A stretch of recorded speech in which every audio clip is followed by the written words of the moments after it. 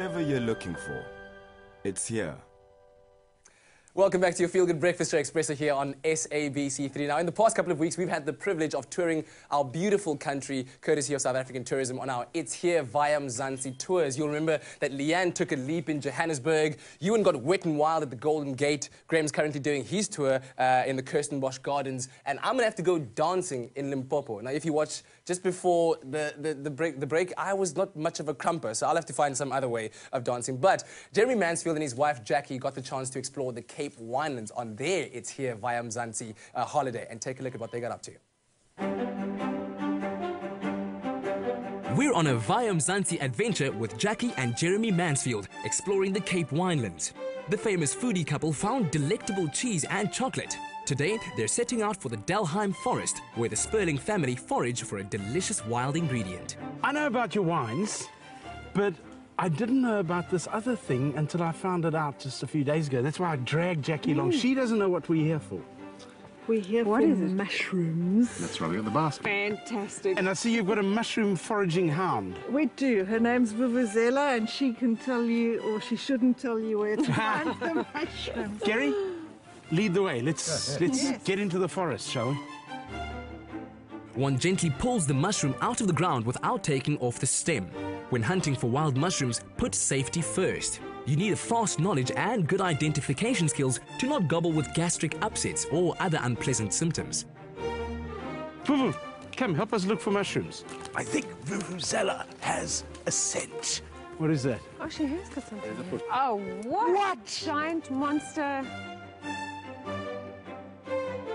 That is huge. This is. Mm-hmm. This to me is, is a monster. Is this the largest that you've seen? No, this is probably about 600 odd grams. Can I feel it? Can I feel it? Yeah. I've found I so badly wanted to go. Oh. I found them 1.6 kilos, even up to two odd kilos Jeep. in a mushroom. Four and they times got, this. Yeah, they got thick stems. They're like a dinner plate. Right, that's going onto the table. Pine boletti, pine rings, and porcini are all found in this forest. That's a storybook mushroom. Oh, man, you can see that in an Enid Blyton book. Yes. This beautiful red fungi is named the tragic mushroom and is deadly. Learn the art at Delheim's Mushroom Week from the 2nd of July. It doesn't get much worse than this, does it, eh? A basket full of mushrooms, fresh air, most gorgeous sunset. Fresh fungi. Fresh, fresh fungi. Thank you, guys. The couple dressed for dinner on a historic farm dating back to the 1600s, recommended to them by Liesel van der Westhuizen. Sun has set on us. Tummies are grumbling. Hungry, hungry, hungry. And uh, Liesel said uh, she reckons we should go to La Motte. Can't miss it.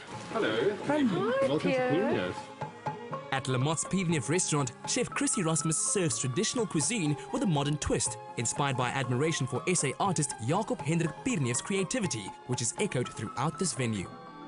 Hey, Chris. Hi, Jerry. Welcome. Nice, nice to, see, to see you. Chris, oh, these smells. They, they're magnificent. Well, you've just walked into our local curry, which this is a curry blend from the late 1700s. And it's, it's not like the old curries you know with lots of chili and spices. It's more fragrant, it's more floral, uh, lots of cinnamon, lots of cloves and coriander. So your ingredients, uh, all those sort of things, you, you source them all from here as closely as possible? For instance, our vegetables, we've got a, about a hectare and a half of vegetable patch in the back. We source our meats all green, uh, free range, fish green, free range. So we try and keep all our, all our ingredients as local and as close to Franschhoek as possible. The creativity of the early Cape is recreated on every plate. Inspired by earlier today, Jackie had the wild mushroom lasagna, while Jeremy enjoyed the Karoo lamb shack, all made with produce from the estate's organic garden. Bon appetit, my darling.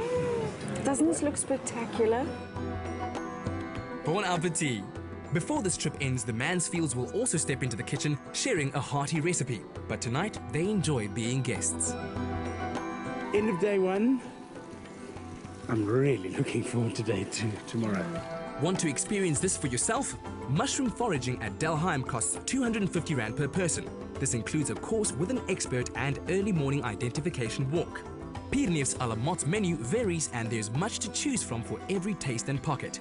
SMS It's Here to 33728 to receive information on the discounted packages to the winelands. Whatever you're looking for, it's here.